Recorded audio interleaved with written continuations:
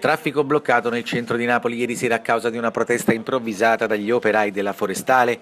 Circa in 500 hanno deciso di manifestare dopo il rinvio dell'incontro in Regione Campania, previsto poche ore prima che venisse inscenata la manifestazione.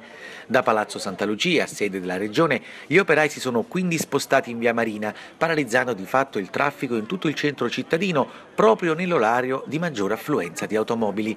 Riguardo l'incontro previsto e poi rinviato tra forestali e vertici della Regione, Regione Campania, i manifestanti parlano di atteggiamento irresponsabile della giunta regionale dignità a questo governo regionale che eh, letteralmente ha impoverito interi territori, letteralmente ha impoverito le persone, ha calpestato la dignità di queste persone, persone per bene, persone che oggi stanno manifestando ancora una volta pacificamente, però ci troviamo ancora di fronte alla regione che è sorda rispetto a questo grido proprio di sofferenza che viene da tutto il territorio regionale. È una vergogna. La vostra situazione in questo momento qual è?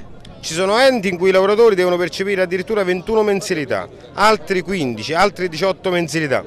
Questo tutto grazie a questo governo regionale.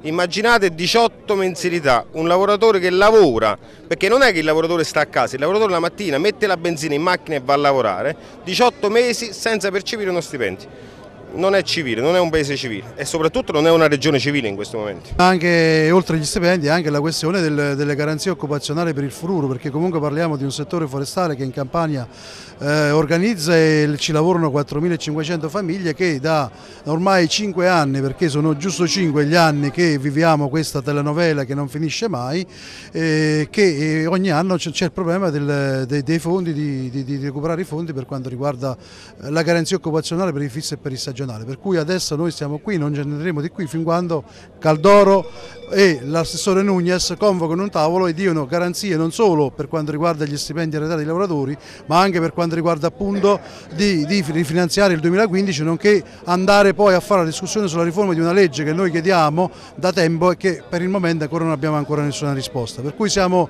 saremo qui fin quando non ci saranno risposte dalla Regione. Questo se lo sappia la politica che non ce ne andremo.